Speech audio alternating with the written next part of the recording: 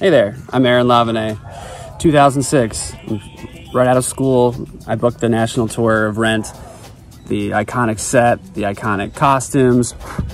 It was uh, it was a big deal for me, and uh, I understudied Roger and Mark, and I was a swing for some of the ensemble members. And I think I had been on maybe once.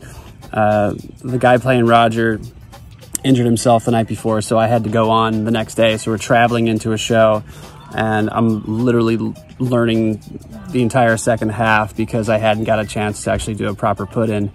Anyway, we get to the show, we scramble to get me into the show.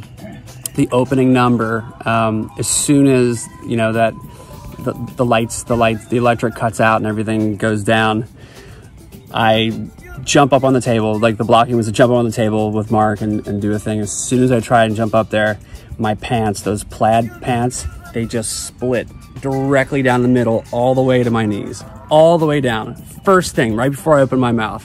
I barely get through the song. We're in uh, Knoxville, Tennessee. That's where we were.